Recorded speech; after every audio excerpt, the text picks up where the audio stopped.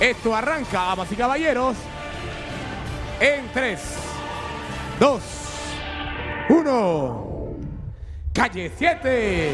Inicia el viernes de competencia de verdad acá en Calle 7 Panamá, pesos colgados, competencia en relevos. Como pueden apreciar, las dos primeras competidoras acaban de atravesar ya el enrejado para hacer un relevo con Giovanni y Enrique. Luego suben el peso y acá tienen que transportarse al mejor estilo de Tarzán para ir relevando el peso hasta llegar al último competidor en la llanta que puede hacer el pase y dar la primera campanada como lo acaba ya de hacer el equipo amarillo. Sale Malu con velocidad, mientras que Grace da la primera campanada también del equipo Escarlata. Grace compite por Denise, recordemos eso, mientras que el equipo amarillo tiene una pequeña ventaja iniciando la tarde de competencia. Inicia entonces el relevo. El movimiento pendular que tienen los competidores en las llantas es sumamente importante para poder dar las campanadas de manera efectiva. Los rojos han tenido un par de dificultades, mientras que el equipo amarillo me parece que ha podido sortear bastante bien esta parte del circuito y han sumado la segunda campanada primero que los escarlatas, pero ellos siguen adelante tratando de recortar distancias. Enrique tratando de salir rápidamente del enrejado para poder pasarle el peso a su capitán Mario. Esta es la primera competencia de la tarde de hoy. Los pesos colgados para ver qué equipo se lleva los primeros 100 puntos del día. Tercera campanada del equipo amarillo Malu con la primera oportunidad. Malu ayer salió de la nominación y aquí la vemos compitiendo mientras que por parte del equipo rojo estamos viendo a la profe teniendo problemas serios para poder hacer el relevo del peso con Mark que lo espera. Por allá viene el capitán a ayudarle a tratar de hacer contrapeso para que pueda llegar donde su compañero de equipo, pero qué difícil se ha tornado esta competencia para el equipo Escarlata. El equipo amarillo tiene problemas, pero la ventaja sigue siendo favorable para ellos. Acá se recuperan los rojos. Ya Mark le hace el relevo a Grace, da la campanada del empate y los amarillos perdieron tiempo porque se cayó la bolsa de peso y tuvieron que regresar a hacer todos los movimientos y eso le da la oportunidad al equipo Escarlata de tratar de volver a la competencia y al parecer así va a ser, señoras y señores, Mario relevando con Lisset. Ahora la va a ayudar, mientras que Edwin logra darle el relevo a Malu. Malu suma la campanada, pero se cae. Ahora sí, se aprieta la competencia. Empate a cuatro.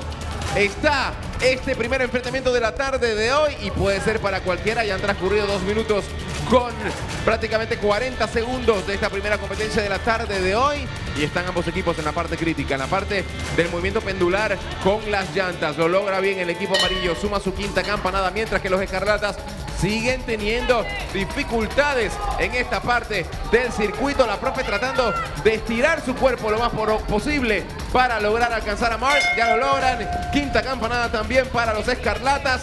El marcador empate a 5. Ya pasamos la marca de los 3 minutos de competencia.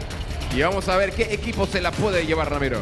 Bueno, una competencia muy divertida, señor Marco, entretenida además, donde los competidores tienen que lograr ese movimiento pendular, pero no solamente eso, también las competidoras que están antes, o los competidores que están antes, tienen que lograr saltar este enrejado metálico que se encuentra justamente al frente de ellos. Nada fácil, una parte muy complicada, y también el tema del movimiento, porque al final, cuando los competidores que están en la posición de piscina, sean el señor Adrián o Mario tienen que tener un timing perfecto porque el que está en la segunda posición de llanta, por lo general, se está moviendo constantemente. Y esto crea entonces que los competidores que están en la pastilla tengan que calcular el momento exacto para así partir y poder pasar esa bolsa de peso a su compañero. Es una cuestión de timing para así poder lograr de manera correcta y precisa el momento exacto para pasar la bolsa. Vemos a una Malu que está siendo bastante rápida,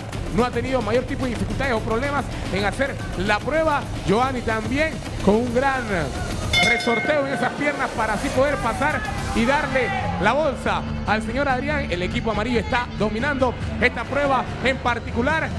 Y vemos entonces que ya Adrián le hace el pase a el granjero entonces ahí de vaquero a granjero rápidamente el equipo amarillo. Mientras tanto vemos en los escarlatas que con la profe que no logra hacer pasar la bolsa, se le dificulta un tanto, pero ya así puede hacerle el pase al señor Mark. Importante también, según escuché por parte de los jueces, no se puede tirar la bolsa, tiene que ser un pase directo de mano a mano. Cuando estamos, señoras y señores, en el último minuto de la competencia, Marco. Los últimos 60 segundos y la competencia está a favor del equipo amarillo que busca llevarse los primeros 100 puntos en la tarde de hoy. El equipo rojo tratando de recortar, tratando de mejorar la técnica por allá entre su capitán y la profe. Suman la campanada que empata el marcador, pero la distancia es muy amplia para el equipo amarillo. Tiene problemas, ¿eh? va a tratar de renovar el movimiento. El vaquero del oeste así lo hace. Ayuda por allá a su compañero, el granjero Eduardo, que fue salvado por ustedes en la tarde de ayer, jueves de eliminación. Y ahora está haciendo el relevo con Edwin. Se le está dificultando, mientras que por parte del equipo rojo está Mario tratando de trabajar con la profe Campanada amarilla. Problemas en el carril escarlata. La profe haciendo el relevo con Mark. Van a sumar una campanada adicional. Se empata el marcador, pero la distancia sigue siendo favorable para los amarillos. Y esto está a punto de terminar en 5, 4, 3, 2, 1. Tiempo y por distancia. Y muy corta. El equipo ganador de los primeros 100 puntos es el equipo amarillo.